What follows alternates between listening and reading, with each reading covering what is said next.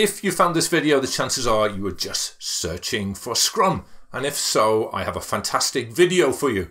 Sadly, there won't be any of this.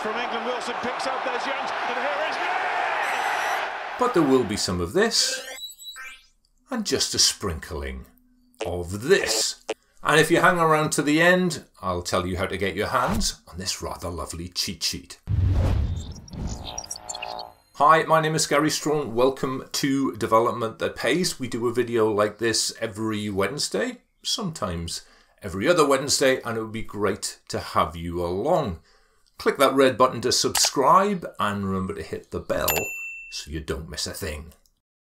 Scrum, as I'm sure you're well aware, is one of a number of agile methodologies. Hmm, seems there's a lie detector in operation. It's true though, Scrum is not prescriptive. It doesn't prescribe a specific method, so it's more correctly referred to as a framework. So yes, Scrum is one of a number of agile frameworks. And like all agile approaches, it is an incremental process. Is that right? Is it incremental or should that be iterative? In fact, it's both incremental and iterative, as we shall soon see. For now, I'm going to back up just a little bit. For most of us in business, our job is to build something, be it a product or service, and deliver it to a customer. But build and deliver what? Well, something that the customer wants, something that the customer values. Trouble is, it's devilishly difficult to work out what a customer wants.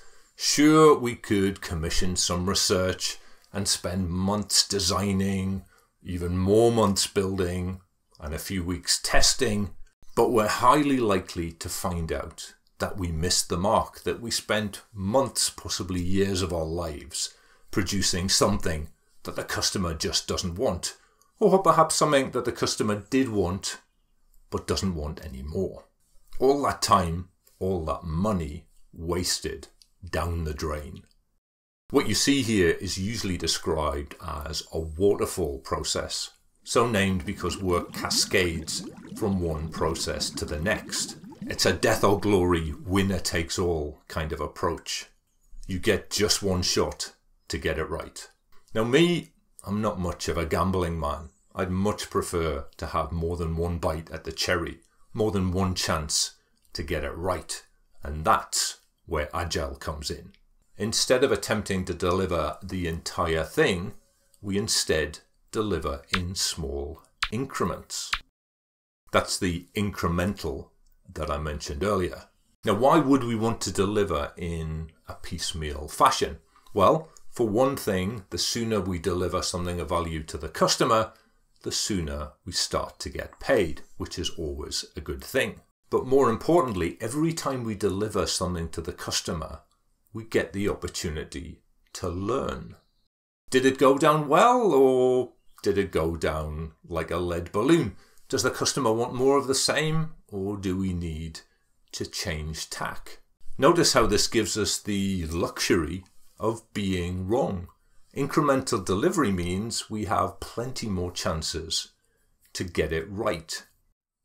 To give you a couple of simple analogies, in waterfall, the assumption is that we're always on the right track. It's a bit like throwing a rock and expecting to always hit the target. In Agile, the assumption is the exact opposite that we'll probably get things wrong, but that we'll be able to learn and adjust our course, much like an aeroplane in flight. Time to flesh this out a bit. We decide what to build, remember, something small.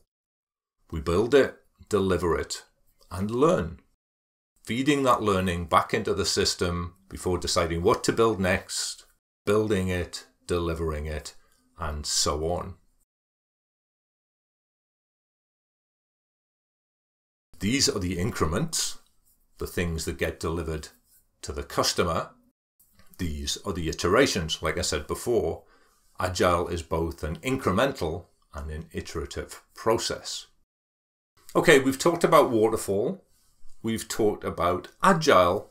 It's now time to get into the detail of Scrum. Ladies and gentlemen, allow me to introduce you to your Scrum team.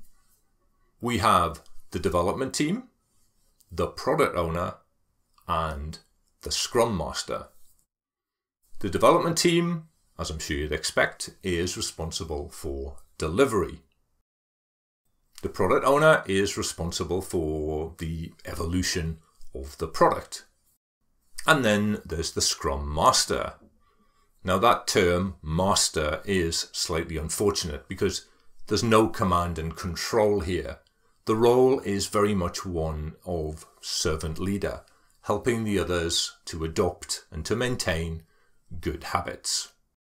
Let's give these people some tools to work with. This is the product backlog. What's the product backlog, I hear you ask? Oh, you, you, weren't, you weren't asking? Well, well, I'm going to tell you anyway. This feedback, together with input from other stakeholders, goes into something that we call the product backlog. It's a prioritized list of mostly user stories. It's maintained and managed by the product owner. Okay, we have our product backlog nicely organized and we have our people. Time to set to work. The defining property of Scrum is, of course, the daily Scrum. Ah, no, it's not the daily Scrum. We'll come to that in a second. The defining feature of Scrum is actually the sprint. The sprint is a fixed period of time, most commonly two weeks, but other time periods are available, up to and including one month.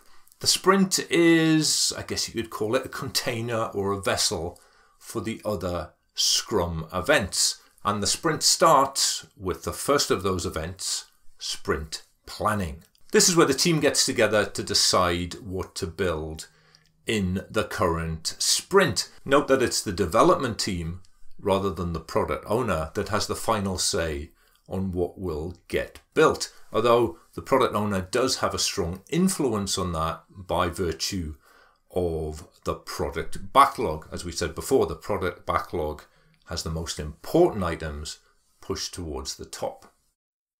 The items selected are known as the sprint backlog, and the team will work on these items ideally to the exclusion of all else for the duration of the sprint. Sprint planning over, the team sets to work, beginning each day during the sprint with a daily scrum, otherwise known as a daily stand up meeting. Remember, we talked about waterfall? Well, it's actually pretty easy to organize a waterfall project. You put your designers in one room, your developers in another room, your testers in another room. There's not that much need for coordination, but you can get away with that if you have a project that runs over a series of months. If your project effectively runs for just a couple of weeks, that's a situation we have in a sprint, then you don't have the luxury of finishing one item before starting another. A Scrum team has got to go through the full gamut from design to development to testing and beyond in the space of just two weeks. With just 10 working days to play with, the team has no choice but to work together. So coordination between the team members becomes paramount. And that's the reason for a daily meeting to allow those ducks to become and to stay in alignment. And that's how it goes on day after day with the team racing towards its sprint goal, a potentially releasable increment. Now, this is something that gets confused, but notice that I said potentially releasable.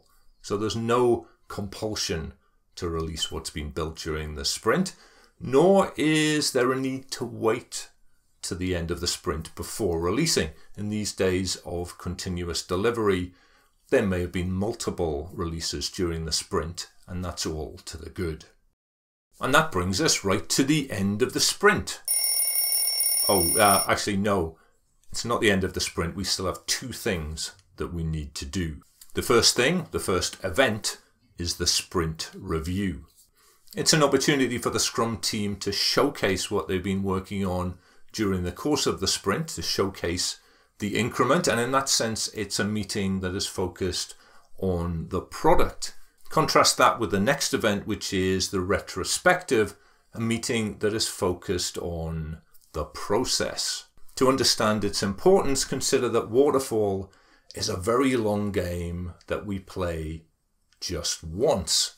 In iterative development, like in Scrum, we play the same game again and again. So we have the opportunity to learn how to play the game better. And that, that's the purpose of the retrospective.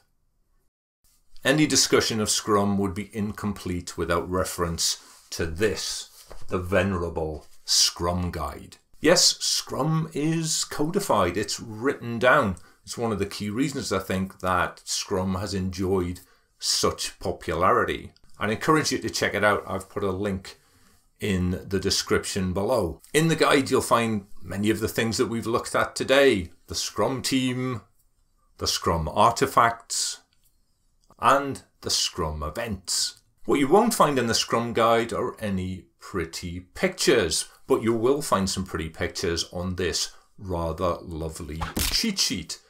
The imaginatively named Scrum cheat sheet. Getting your hands on a copy is simplicity itself. You'll find a link in the description below. Click the link, follow the instructions, and it's all yours, together with any and all updates that I make over time. The Scrum aficionados among you will have noticed a couple of glaring omissions from this episode. We haven't yet talked about the three pillars of Scrum transparency, inspection, and adaptation. Nor have we talked about the five values of Scrum commitment, courage, focus, openness, and respect. So this falls short of being the definitive video on Scrum, but I'm okay with that. You see, this isn't just a video about Scrum. This is the first of a series of videos about Scrum that will be produced using a Scrum process. What you've just watched is the first increment. The next increment well, that's up to you. Should I dive into some of the things that I missed, or should I expand on some of the things that I did cover? Let me know down there in the comments below. Thank you very much for watching. If you enjoyed this episode, please give it a thumbs up, share it with your network, and remember to subscribe for a brand new episode almost every Wednesday. I look forward to talking to you again soon. Cheers for now.